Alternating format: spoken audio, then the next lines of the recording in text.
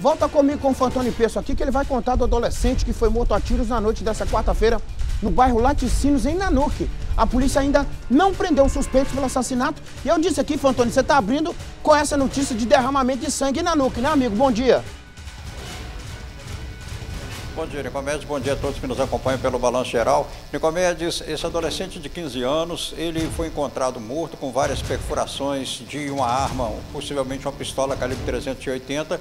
O local, no bairro Laticínios, é propício para as atividades do tráfico de drogas, porque são vários imóveis abandonados, escuros, e não se...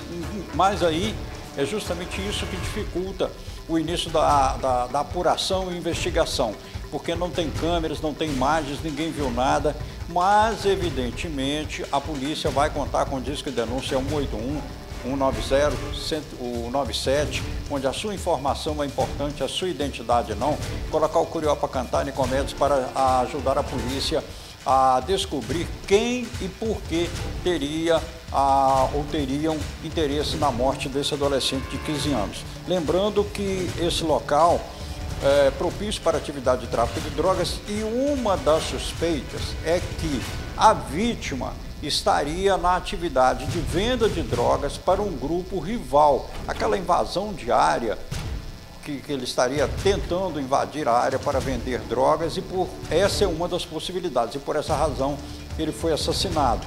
Quer dizer, por esse motivo, porque isso não é razão. Homicídio não tem razão, tem motivo, né? tem motivação. A razão não existe num, num, quem tira a vida de uma pessoa. Mas a polícia vai encontrar Nicomedes, talvez não até o final da semana, quem sabe? Quem sabe amanhã a gente vem aqui e diga que a polícia já conseguiu prender os suspeitos e melhorar a apuração desse crime, Nicomedes. Obrigado, Fantônio, por sua informação. É, a polícia vai apurar porque é, a, a, a vida humana tem servido para pagar algumas dívidas, né? É, e o que chama no mundo do crime de vacilo, alguns vacilos, né? Paga com a própria vida.